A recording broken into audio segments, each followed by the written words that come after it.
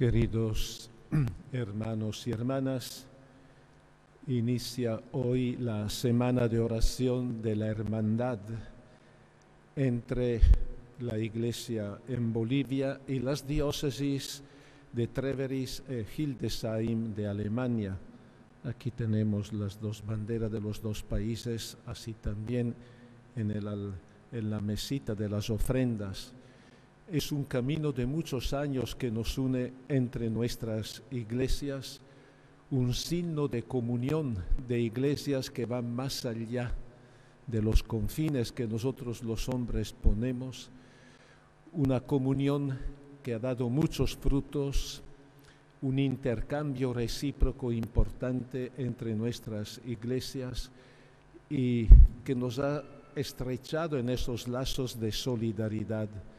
Por eso estamos agradecidos al Señor y esta semana de oración para que podamos seguir en este camino de un testimonio que vamos dando también en nuestra sociedad y en nuestros países.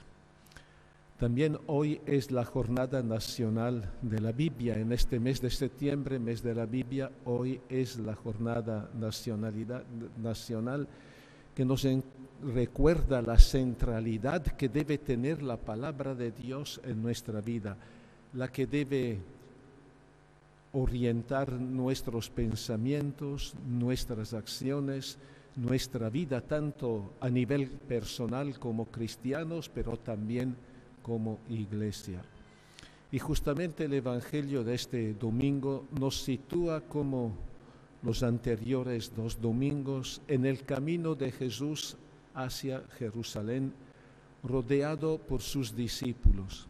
Es el tiempo y el espacio privilegiado escogido por Jesús para que ellos tomen conciencia de lo que significa ser discípulos y seguidores suyos.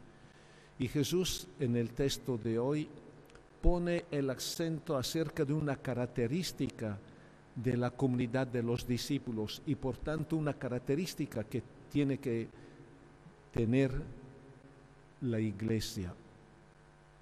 Juan se acerca a Jesús y le informa, vimos a uno que hacía uso de tu nombre para expulsar a los espíritus malos. Vimos, Juan no habla al singular, no habla a nombre propio, sino a nombre de todos los discípulos, los representa, unidos en un grupo ya constituido y compacto a la comunidad de los discípulos. Uno, un intruso, alguien de por ahí que no es del grupo de los discípulos, que no sigue directamente a Jesús y que se atreve a actuar en su nombre no teniendo que ver nada con ellos. Y expulsa los demonios. Ese poder es un signo importante de la llegada del reino de Dios, encarnado y manifestado en Jesús. Jesús es la salvación, la vida, la liberación de todos los demonios, es decir, del mal, los odios, los resentimientos, los fanatismos, la violencia, que enseguecen a, las personas y rompen la convivencia fraterna. Expulsar a los demonios es un acto que apunta a la humanización plena de la persona, a hacerla más persona, conforme a la dignidad que le corresponde como criatura engendrada imagen y semejanza de Dios. Jesús, durante todos los tres años de su ministerio público, manifestó este poder de expulsar a los demonios, sanar a los enfermos, perdonar a los pecadores, y ahora comparte este poder de expulsar a los demonios con los discípulos, en la ocasión que los envió también a la primera misión. Por lo tanto, a los discípulos no les resulta nuevo que aquel hombre expulse a demonios.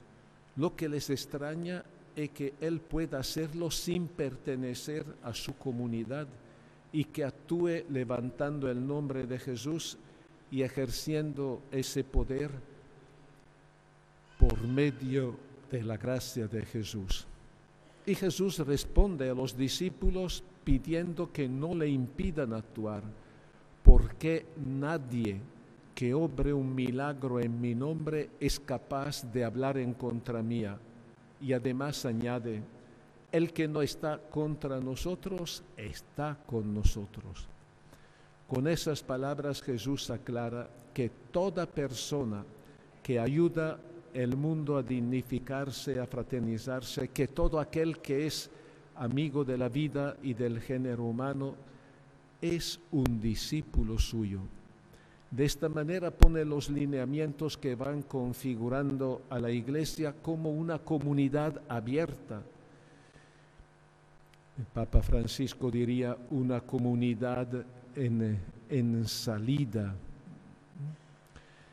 Iglesia, signo visible del reino de Dios, del plan de salvación que abarca toda la humanidad y que está en camino en la historia este plan y que alcanzará su plenitud al final de los tiempos cuando Dios será todo en todos. El anuncio del reino de Dios, la evangelización, es la meta y la razón de ser de la iglesia que existe para evangelizar. Es una tarea ardua y la comunidad creyente, nosotros, estamos llamados a ser semilla y sacramento del reino, a anunciarlo y servirlo como fuente de salvación para todos los hombres de todos los tiempos y lugares y que se extiende, que es mucho más grande de los límites visibles de la iglesia. Jesús no ha venido a fundar una secta, una comunidad cerrada en sí misma que pone límites a la acción del Espíritu. La iglesia no vive para sí misma, ni se cierra ciegamente delante del bien y la verdad que aparecen fuera de sus fronteras. Por el contrario, está llamada a ser una comunidad abierta caracterizada por el servicio fraterno, dispuesta a recibir y ofrecer colaboración a todas las personas de buena voluntad, cristianos y no cristianos, que trabajan por la humanización de las personas y de la sociedad conforme a los valores del reino. Y estas palabras de Jesús nos remiten a la primera lectura que narra el episodio de la efusión del Espíritu sobre setenta ancianos reunidos en la tienda, en la carpa del encuentro, elegidos por Moisés para ayudarle en la conducción del pueblo en el desierto. Tal efusión es la respuesta de Dios a las quejas de Moisés que decía, ya no puedo cargar solo el peso de todo el pueblo. Los setenta ancianos reciben el don de participar del mismo espíritu, dones y capacidades que Moisés posee como guía y dirigente del pueblo de Israel y deberán ayudarle a llevar parte de esa tarea. Pero el Espíritu, libre y soberano, no desciende solo sobre los que estaban reunidos en la tienda del encuentro, sino también sobre otros dos hombres que se encontraban en otra parte del campamento.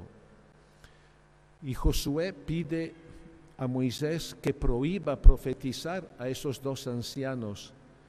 Sin embargo, Moisés contesta con estas hermosas palabras, ojalá, ojalá todo el pueblo del Señor fuera profeta, hablar en nombre de Dios y recibiera el Espíritu del Señor.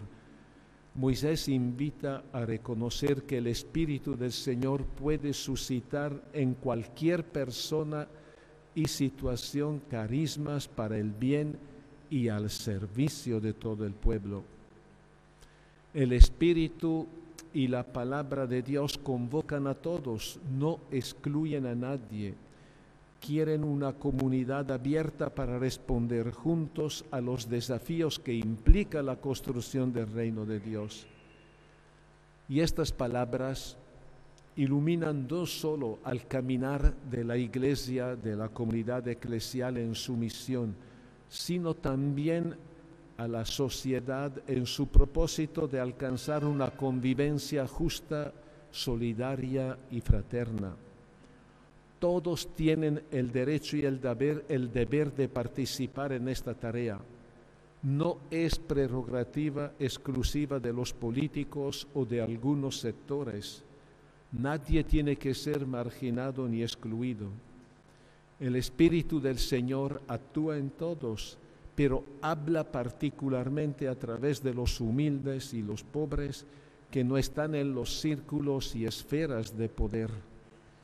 Por tanto, ningún sector, movimiento, partido o grupo religioso puede quedarse atrincherado en sus posiciones fundamentalistas, creyéndose el único detentor de la verdad, negándose a escuchar a los demás o coartándole la libertad de expresión. La absolutización de una ideología y el fanatismo llevan consigo la tentación de asumir poses de salvadores insustituibles, de imponer el propio pensamiento descalificando y persiguiendo a los que piensan distinto, de limitar los derechos humanos, de hacer prevalecer intereses particulares sobre el bien común, sembrando de esa manera gérmenes de inestabilidad y violencia. Si bien es cierto que todos pueden ser partícipes del dinamismo del reino, sin embargo hace falta asumir algunas condiciones, porque el reino está abierto a todos, pero no todo vale para el reino. Y Jesús las formula con unas imágenes fuertes, cortarse la mano y el pie, quitarse un ojo, por supuesto que este texto no quiere decir que hay que hacerlo concreta o físicamente, sino que es preciso cortar desde la raíz en nuestro corazón y en nuestro espíritu todo aquello que impide entrar en el reino y en el dinamismo del seguimiento de Jesús. Esto implica en primer lugar reconocer que nosotros mismos necesitamos cambiar, necesitamos conversión y dejar de echar siempre la culpa de los males a otros, a la historia pasada, a la sociedad, a la infancia dura, a situaciones externas. El mal se anida dentro de nosotros, está en nuestro ojo, nuestra mano, nuestro corazón y en todo nuestro ser. Todo lo que es de obstáculo para convertirse en verdaderos discípulos de Jesús es escándalo, como dice en el Evangelio, y es preciso erradicarlo de nuestra vida porque no corresponde con el señorío de Dios. Busquemos entonces con sinceridad y valentía este misterio de sombra presente en nuestra vida para sacarlo cambiarlo y convertirlo en luz con la gracia de Dios, convertirlo en amor y signo de esperanza para sanar tanto mal en el mundo y ser así de Cristo, porque el que no está contra nosotros está con nosotros. Amén.